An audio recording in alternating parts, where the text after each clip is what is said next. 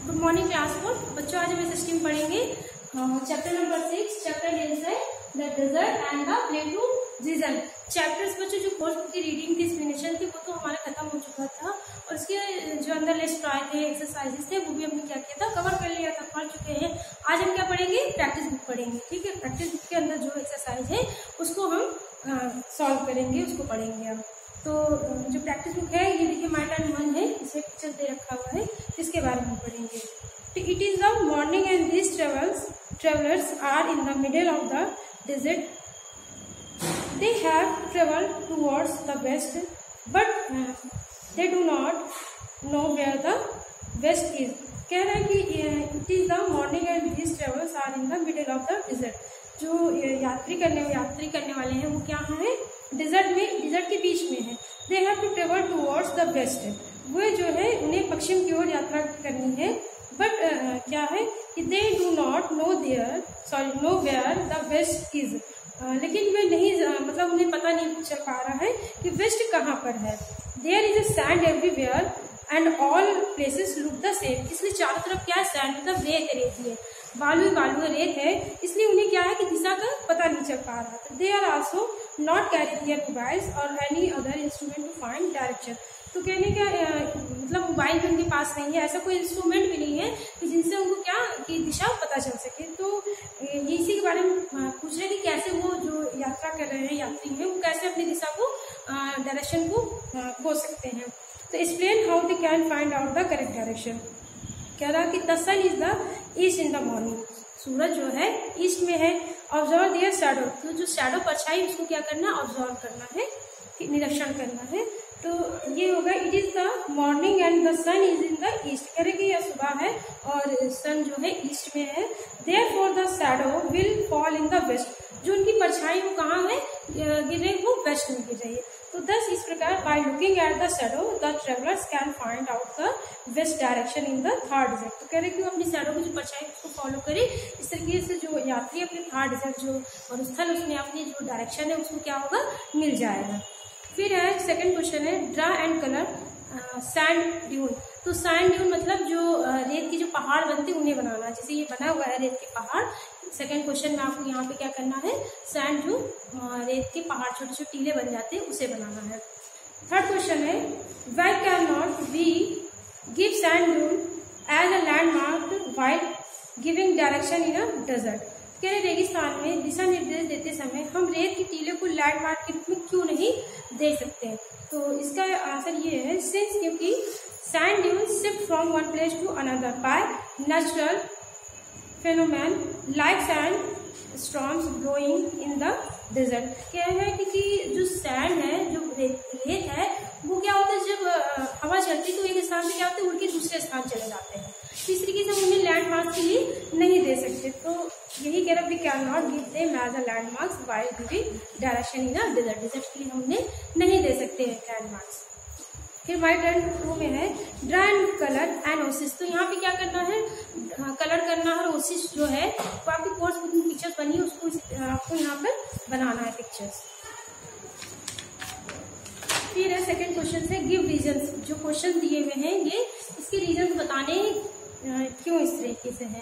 तो एक है farmer of the Thar desert grow jowar instead of rice because कह रहे कि जो फार्मर है थर्ड डिजिट में ग्रो क्या करते हैं? Grow jowar instead of rice rice की जगह ज्वार ग्रो करते हैं बिकॉज़ क्योंकि jowar can grow in the less amount of water जो ज्वार है, वो कम पानी में ही ग्रो हो जाते हैं but rice needs plenty of water to grow और चावल में जो धान लगाए जाते हैं, वो पानी उसमें ज़्यादा मांगते तो इसलिए वहाँ के लोग जो है, पानी वैसे भी बहुत वर्षा कम होती इसलिए वहाँ जो है, ज्वार जो है ज़्यादा ग्रो करते हैं। पी क्वेश्चन है in a desert the travelers rest at an oasis because क्योंकि जो डिजर्ट में ट्रेवलर्स जो यात्री है, वो ओसिस जो है, वहाँ पे क्या करते हैं, आराम करते हैं मतलब रेस्ट करते क्यों करते हैं?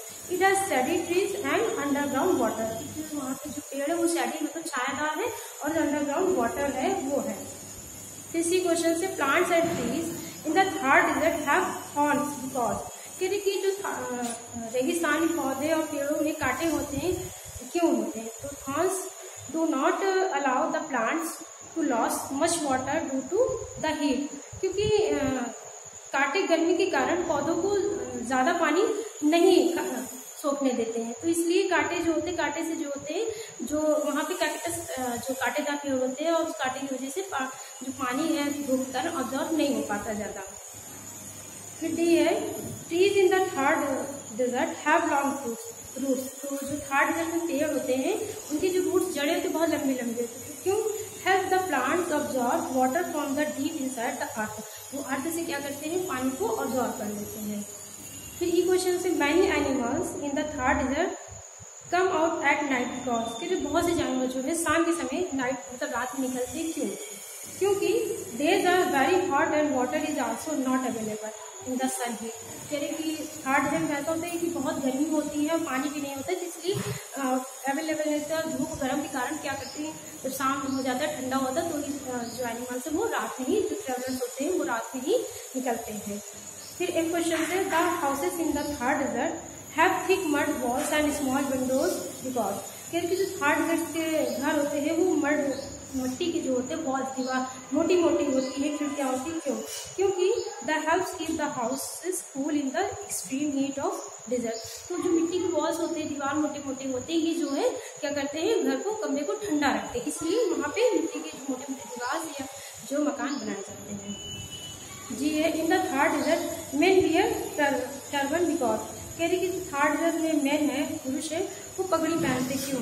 It is safe them from the heat जो पगड़ी होती है वो काफ़ी लंबे होते हैं कपड़े के तो उसको कई बार उसको घुमाते हैं, सर पे बांधते हैं पगड़ी। तो उससे क्या होता है, धूप से थोड़ा वो बचता है तो सर थोड़ा गर्म नहीं होता मतलब गर्मी नहीं लगती, इसलिए वो लोग टर्बन मतलब पगड़ी पहनते हैं।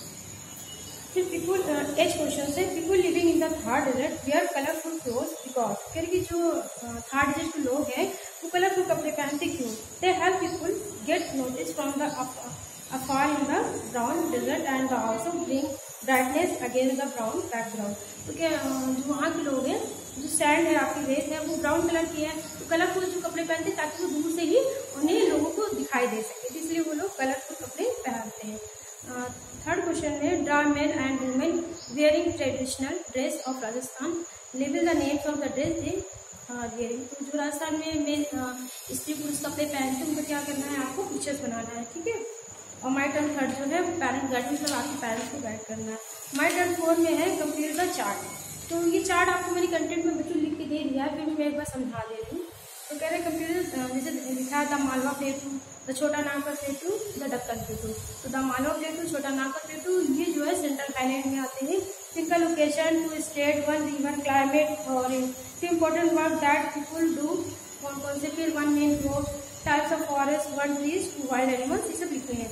तो लोकेशन में है द मालवा प्लेटू का lie between the Aravalli and the Vindhya hill ranges तो मालवा प्लेटू जो है अरावली हिल्स और विंध्या हिल्स से क्या बाउंड्रीज है? फिर Chota Nagpur eastern part of the central highland से ईस्टर्न पार्ट में है ये, फिर Deccan plateau southern part of India India के साउथर्न पार्ट में है।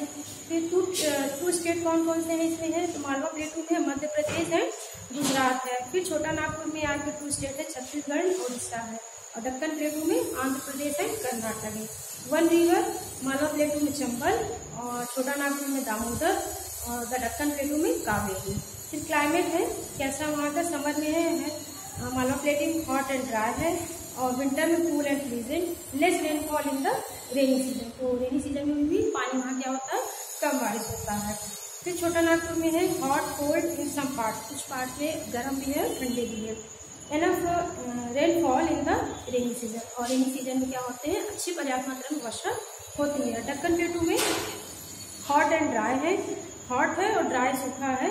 और विंटर में कूल एंड प्लीजेंट है। Very less rainfall in the rainy season और यहाँ पे भी क्या होती है? बारिश बहुत ही कम होती है।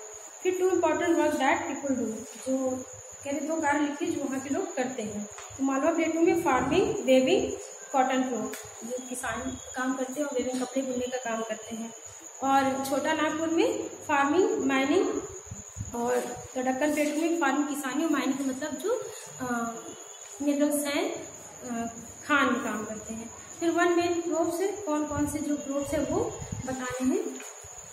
तो मालवा प्लेटू में है कॉटन और छोटा नागपुर में राइस और डक्कन प्लेटू में कॉटन फिर टू टाइप्स ऑफ़ फॉरेस्ट किस तरीके की फॉरेस्ट वहाँ होते हैं? तो मालवा प्लेटू में डिसाइडेड एंड थॉर्नी फॉरेस्ट पड़पाती और कांटेदार पेड़ होते हैं। और छोटा नागपुर में थिक डिसाइटस फॉरेस्ट मतलब जो पड़पाती होते हैं घने जंगल होते हैं। और द डक्कन प्लेटू में थॉर्नी स्टफ्स थॉर्नी होते कांटेदार होते झाड़ीदार होते forest in the most area वहाँ के एरिया में ज़्यादातर छोटे घने जंगल होते हैं। फिर वन ट्री जो मालवा प्लेटू में वो वन ट्री है, सलाई है। और छोटा नागपुर में है, साल डक्कन में आलमट्स तो ये जो ट्री है वन ट्री यहाँ पे लिखा है, जो ज़्यादा है वहाँ पे। फिर two wild animals two wild animals में दमालो प्लेटू में लिपर्ड वुल्फ है, छोटा नागपुर में लिपर्ड टाइगर और दक्कन प्लेटू मिलते हैं गॉड वाइल्ड एशियन एलिफेंट तो बच्चों, ये आपका जो प्रैक्टिस का जो भी वर्क था, मैंने एक्सप्लेन कर दिया, समझा दिया, अगर कुछ भी नहीं समझ में आता है तो मुझसे ज़रूर पूछिएगा। Thank you